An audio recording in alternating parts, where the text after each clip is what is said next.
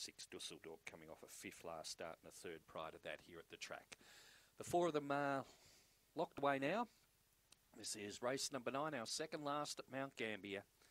They're set, they're ready, and away in racing. Cadillac Prince and also General Max Maxon around the outside. Dusseldorp. Now Dusseldorp takes over. Second placing General Max running on Rocket Line and three away last of all Cadillac Prince. Off the back, Dusseldorp in front, but Rocket Line is the quick challenger on the outside. Then came General Max and Cadillac Prince around the turn. Rocket Line out wide grabs the lead. Cadillac Prince up along the inside, but Rocket Line gets home. Cadillac Prince got second.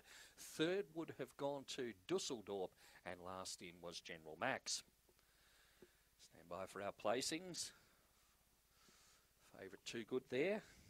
Number eight, uh, Rocket Line, so that makes uh, it a treble to Tracy Price. He's earlier winners of Reoffender and Compton Test.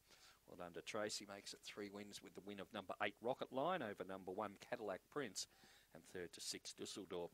Eight, one, and six, the numbers.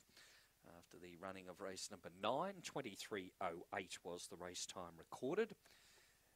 8, 1, 6 and 4 the placing. So 8 Rocket Line, Black Dog, May 18 by Peter Rocket from Headline.